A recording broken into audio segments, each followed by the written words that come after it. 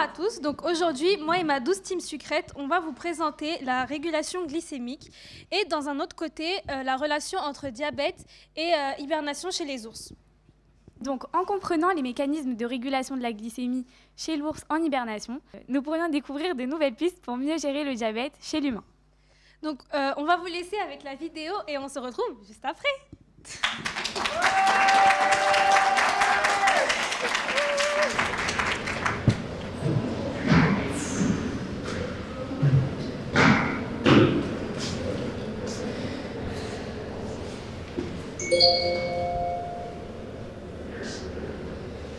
Allô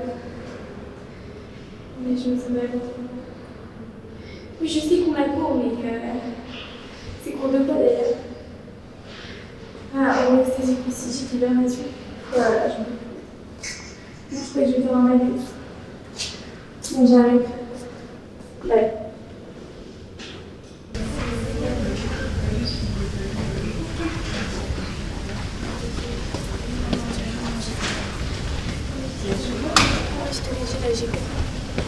Je dois rentrer à l'éballe.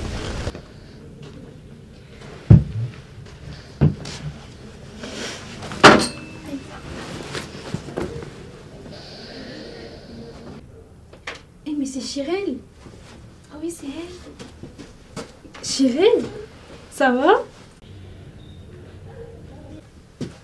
Il faut peut-être l'aider là. Attends, Quoi? Mais euh, tu te rends compte?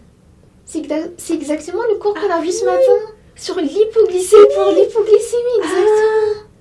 Mais tu es en hypoglycémie du coup là? Ah, mais d'ailleurs, c'est vrai que euh, le taux constant de sucre dans le sang, c'est de 1 gramme par litre. Mais si on est inférieur, c'est ben, on est en hypoglycémie en fait. C'est comme moi. Ah mais oui Chirel, c'est normal que tu es en dessous là, tu es en train de mourir.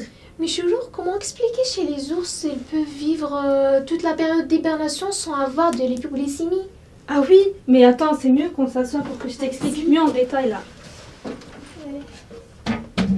C'est intéressant ta question parce que pendant l'hibernation des ours, ils, ils vont utiliser des mécanismes uniques pour les aider à maintenir leur taux de glycémie et ils n'ont pas besoin de beaucoup manger. C'est pour ça. montrer? Bah, ici, pendant l'hibernation, le métabolisme des ours il va, diminuer considérablement et du coup il va transformer leur graisse en énergie et c'est ça qui va leur permettre de réguler la glycémie. Et ce qui est intéressant aussi, c'est que les scientifiques ils peuvent euh, étudier ces mécanismes pour aider les personnes, les personnes diabétiques et qui font moins de malaise, comme cette personne-là. Du coup, mais c'est intéressant. Ça veut dire que les ours, ils n'ont pas besoin de, main- de, de beaucoup manger pour maintenir un taux de sucre stable. Oui, exactement, c'est ça. Et ce n'est pas tout, leur corps il est aussi capable de euh, recycler leurs déchets en protéines et du coup cela empêche leur taux de sucre de descendre trop bas pour éviter la- l'hypoglycémie. Du coup, Chirel, elle respecte pas ça. Hein, Chirel? Ah, c'est incroyable. Alors on peut apprendre beaucoup des ours pour traiter le diabète. Mais imagine, euh, Maria, si on pouvait réguler leur notre glycémie aussi efficacement que les ours. Cela pourrait changer la vie de millions de personnes atteintes de diabète, mais aussi d'hypoglycémie. Encore. Ah oui, ben c'est pour ça que la recherche est si importante. Bah oui. Mais oui, imaginez si on pouvait réguler notre glycémie aussi efficacement. Cela pourrait aider des millions de personnes atteintes de diabète. Et c'est pour ça que les, recher- les recherches sont si importantes. En étudiant les ours, on peut découvrir euh, de nouvelles façons pour gérer notre glycémie. Mais oui, c'est ce que je t'ai dit au début. Les, les ours, c'est l'outil nécessaire pour comprendre l'enjeu du diabète. Mais peut-être qu'un jour, on n'aura plus besoin de s'inquiéter sur l'hypoglycémie ou l'hyperglycémie. Et espérons-le, mais pour ce faire, il faut faire attention à sa glycémie et la surveiller et faire attention à ce qu'on mange. C'est important de continuer à soutenir les recherches et les études. Les scientifiques, ils, ils font tous, tout leur possible pour trouver euh, le- les enjeux, les mécanismes pour euh, l'hibernation chez les ours. Mais attends, en parlant de manger, on a oublié de faire manger quelque chose à Chirel. Mais elle a des pommes partout. Mais Chirel, mange ta pomme, sinon tu vas vraiment t'é- mourir cette fois. Ah oui, merci Choro pour ton idée. Ah, ça va mieux. Vous croyez qu'elle s'est endormie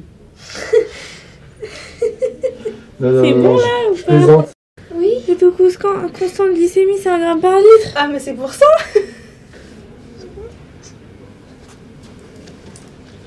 Euh, après cette vidéo ironique, je l'espère, euh, vous avez vu donc deux côtés. Un côté euh, avec la régulation glycémique, qui est un processus vital et important pour notre santé. Et dans un autre côté, on a vu que l'hibernation chez les ours, c'est un, sujet fascinant parce qu'il permet aux scientifiques de comprendre comment un ours, en général, peut rester toute, pendant toute l'hibernation sans alimentation générale. Et ça, c'est très fascinant. Et en penchant sur les animaux, nous pourrions, peut-être dans l'avenir découvrir et élaborer de nouvelles méthodes et stratégies pour gérer le diabète, tout comme d'autres maladies incurables. Et cela va permettre d'améliorer la qualité de vie de millions de personnes à travers la planète. Donc, euh, j'espère que cette vidéo vous aura plu. N'hésitez pas à liker, la partager, la commenter et à vous abonner pour ne rater aucune vidéo de la team Sucrète. Et euh, quand j'ai dit euh, commenter, euh, commenter, je sais pas, euh, commenter Sucrète, euh, su- sucette, euh, n'importe quoi. Mais euh, comme ça, vous ratez aucune vidéo. Voilà, merci.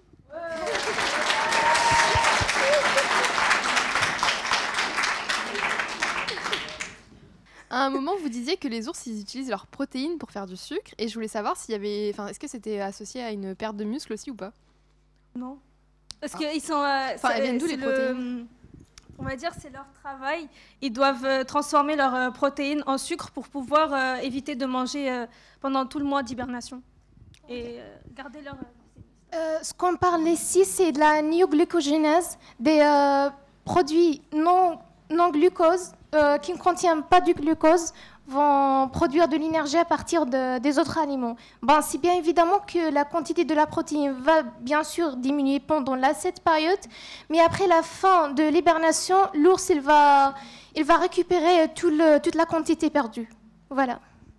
Euh, Est-ce que du coup, euh, on va voir, on va plus étudier comment l'ours, il, euh, enfin, je sais pas trop comment expliquer ma question, mais est-ce qu'on va plus regarder de, de quoi est composé l'ours, si ça a un sens, ou euh, la, sa façon de fonctionner Euh, non, le, comment, comment regarder un ours, c'est un peu bizarre, mais on va regarder comment il fait pour euh, transformer euh, bah, ce qu'il a en sucre pour, lui évi- pour éviter qu'il mange durant, le mois, pendant six mois d'hibernation.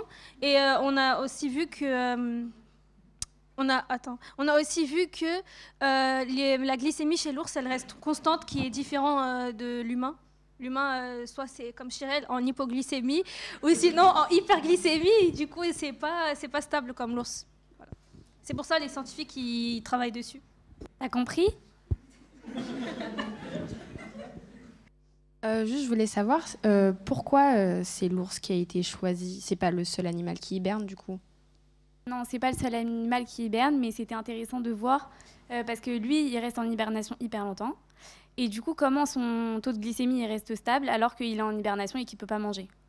Du coup, on a étudié ça parce que Ah, ok. Et du C'était coup, les scientifiques. euh, ils- c'était aussi des nouvelles pistes pour, euh, pour gérer le diabète pour l'humain. Du coup, euh, ça nous aidait.